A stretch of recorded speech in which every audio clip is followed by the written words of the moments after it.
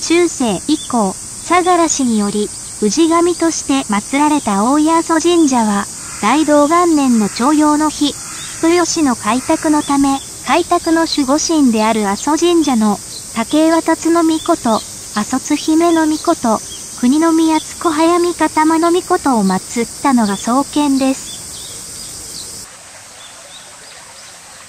相良氏と阿蘇氏は南北朝から戦国期には対立することが多かったため、阿蘇山人を祀りつつ、独自の宗教的展開を図ったとされています。国宝の指定を受けている社殿群は、慶長15年から4カ年にわたる造営です。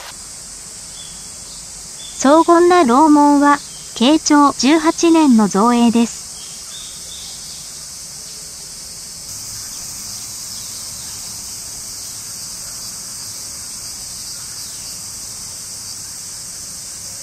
胸が高く、急勾配の茅吹きを特徴とする屋根は、桃山様式で建てられています。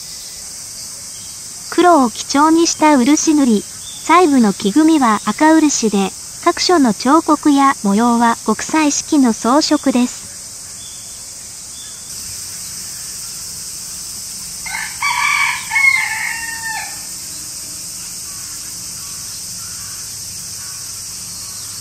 ご神木の左には、青い大神宮が鎮座しています。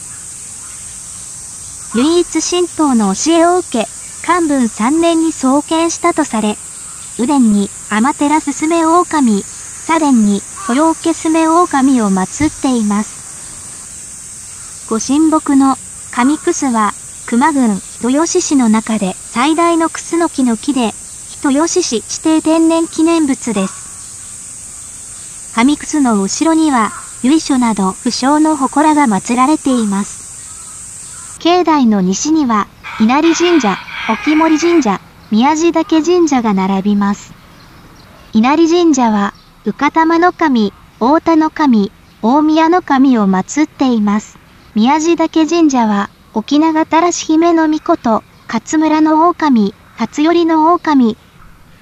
沖森神社は、水神として倉女神の神を祀っています。